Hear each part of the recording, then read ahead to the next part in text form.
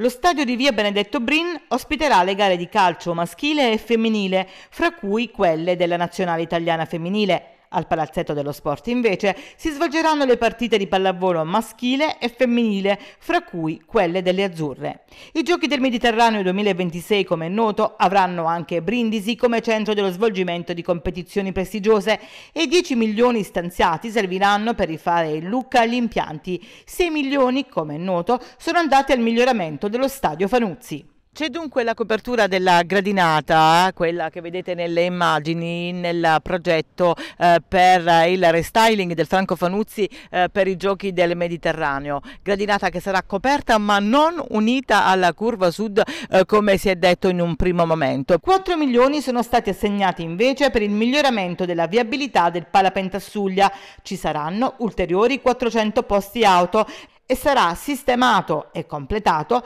l'impianto dell'aria condizionata all'interno del palazzetto, al momento non funzionante. I primi bandi sono stati assegnati. L'azienda RT Bolina Ingegneria con sede a Mestre è vincitrice dell'appalto per la progettazione di fattibilità tecnica ed economica relativa allo stadio Franco Fanuzzi.